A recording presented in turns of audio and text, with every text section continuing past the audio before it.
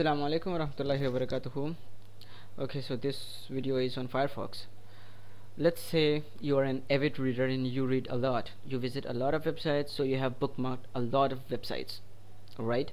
And if you use speed dial or fast dial add-on, then you might have even added a lot of websites uh, on speed dial or fast dial.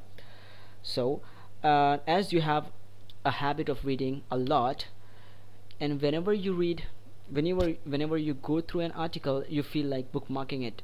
But there are some permanent bookmarking websites like over here for example I've got like yeah shitload of websites that I bookmark alright? And sometimes you just want to read an article. You don't want to bookmark it permanently. Just read it and del delete it later. And let's say you don't have much time.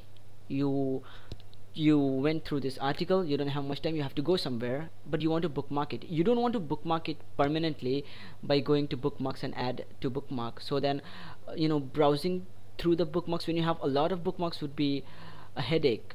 So this add-on it's called read it later. It's a very ha handy add-on if you are a person like that. What it does is when you click on the arrow mark over here it will bookmark it. Temporarily it will add the bookmark to this list over here. Yes read it later right? It will add the bookmark to that list over here. And when you finish reading it okay then when you come back and when you start reading the article and you finish it just click uh, on the arrow mark. Just click on the arrow mark and it will remove the bookmark automatically. It will remove the bookmark automatically from the read it folder right from the read it later folder. So it's just like that. Simple easy to use. Just have to install the add-on and click on this to add it to your list. To add it to your list and when you have read it just remove it. It will close the tab and it will also delete it from your read it later folder right? Simple. And uh, if you are a vivid reader just like what I said then you might want to install it. Avid reader. Yeah not vivid reader. Okay. Assalamu alaikum warahmatullahi wabarakatuh. Uh, okay guys.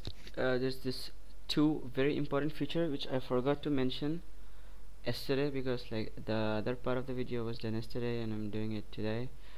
Um, one feature is you can actually save all these pages. Yeah you have you have an icon over here. When you click you'll get a drop down menu and all the um, articles or the pages that you bookmark right for reading. And it will even tell you when you bookmarked it right? And uh, if you uncheck if you read it check you can just click on the arrow mark over here right you can click on the arrow mark and that will delete it. That is one feature. The other one is you can uh, if I'll try to go yeah, to options and uh, you can sync it. You can well you know sync it with other devices. I think even read it sync it works with iPhone I, I guess. It was there on the website. You can check it out later and you can turn it and synchronize it with other devices or other computers. And another feature is offline mode. So if you click on this and when you save when you save click on the arrow mark it will save the web page. It will download it. So next time you can uh, browse or read the web pages even when you are offline. Yeah as you can see read it later. It works on iPhone too. Yeah that's what I wanted to tell you guys Assalamu alaikum warahmatullahi wabarakatuh